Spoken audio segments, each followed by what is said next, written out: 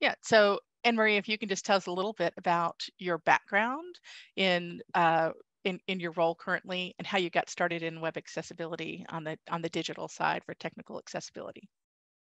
Great. Thanks very much, Sam, for having me. Um, my name is Anne Marie McCullagh. I'm a senior accessibility engineer. Um, I'm currently working in an organization of 1,300 people, and we're a company who sell products business to business um, to foster a culture of um, employee recognition. So, like many people, I fell into accessibility by accident. Um, I've a computer science degree from 20 years ago, and my background is in localization and test. And throughout the different industries that I worked in, you know, the quality of our products was always really important to me, as was a really effective development process. And back in 2016 or 2017, I was given a side project to investigate the WCAG standard and what it meant for our organization and what it meant for our engineering department. And then I got involved with our first agile team who were developing an accessible feature from scratch. So it really snowballed from there. Um, I became really interested in it. I started building up my expertise and then became the person that people were coming to and asking questions. And then, literally a couple of years later, I moved into a 100% accessibility focused role. Um, and I currently work across the entire development workflow from design through to development and test.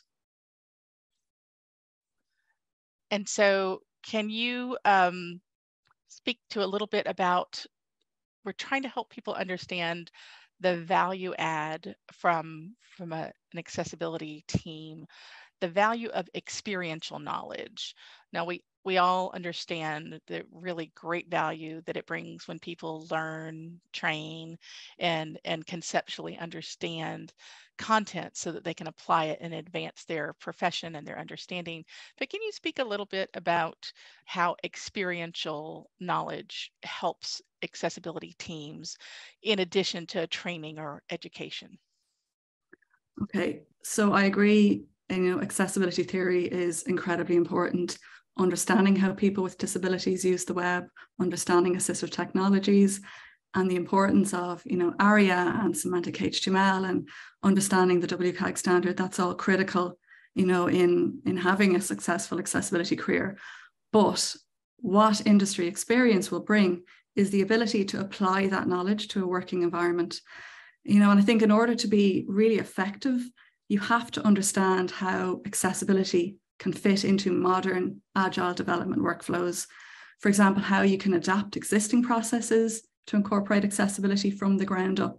That's how you're going to get the repeatable results, and that's how you're going to get traction in the industry.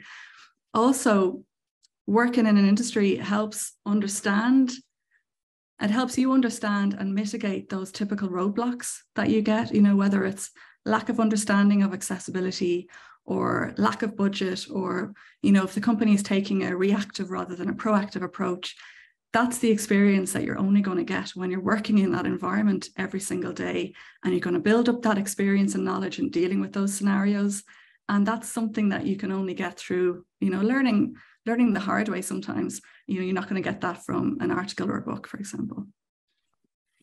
So anne marie what are the things that we ask people that are considering sitting for the IAAP WAS web accessibility specialist certification is that they have three to five years of first person experience where they themselves have been performing these roles or tasks.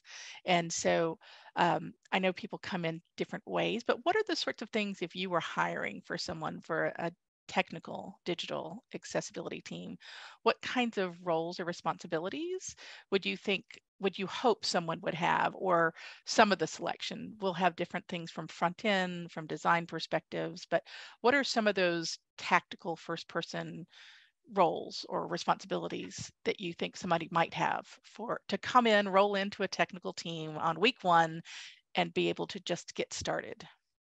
Okay.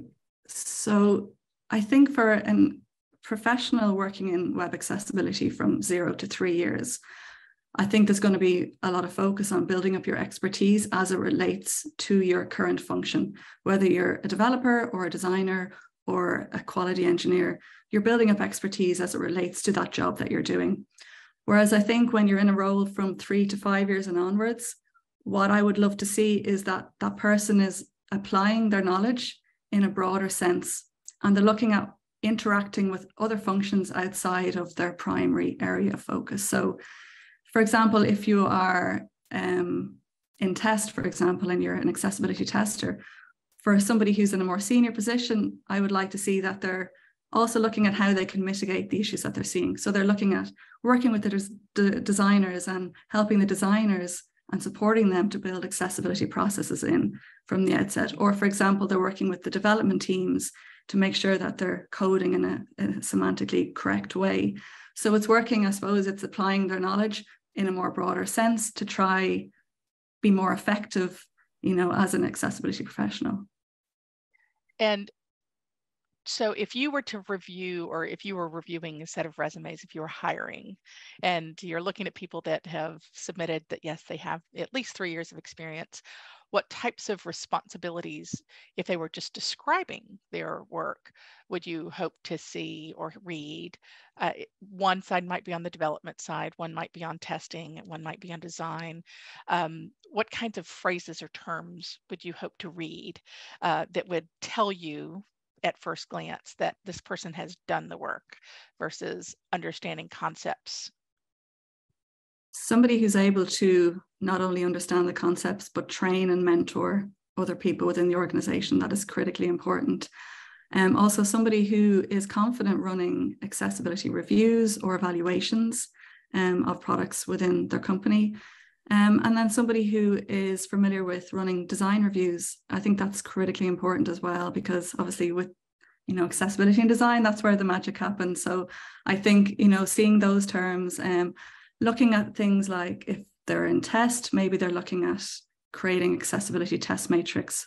Maybe they are learning and understanding trends in um, not only the standards but also assistive, technology and the different trends and how um, you know screen reader and browser pairs might work and how they might adapt and understanding that and being able to share that knowledge then within the teams and i think i think the world of web accessibility is just about to burgeon onto the scene in technology and we're excited that there are a lot of people that are starting to be interested in companies that want to show their knowledge and expertise.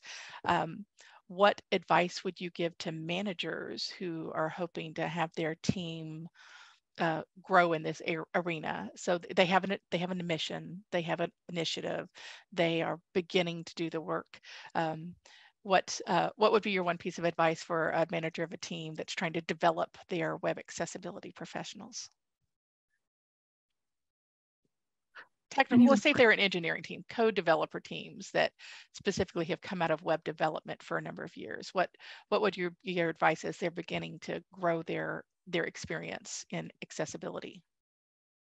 Carve out some time for training and help the team make connections with the disability community and build knowledge from there because I think understanding and seeing firsthand how people might struggle and the, the, barriers that people face day to day, I think that can be a huge catalyst for change within an organization and can really change the narrative rather than looking at, you know, building up an accessibility team just to achieve compliance or conformance is a very different mindset to building it to actually build inclusive products. So I think spending time and making sure that that that that messaging comes from the top down and that everyone's consistent. I think that is a barrier that that companies can sometimes not be able to overcome. So the messaging and all that has to be very, very clear.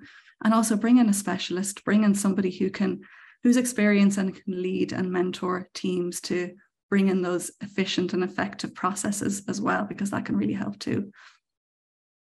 So we've had a chance today to chat with Anne Marie, and Anne Marie is an IAAP CPWA. So she's a certified professional web accessibility, meaning that she holds both our CPACC, our accessibility core competency certification and web accessibility and is doing great work leading teams for inclusive and usable web accessibility and digital products.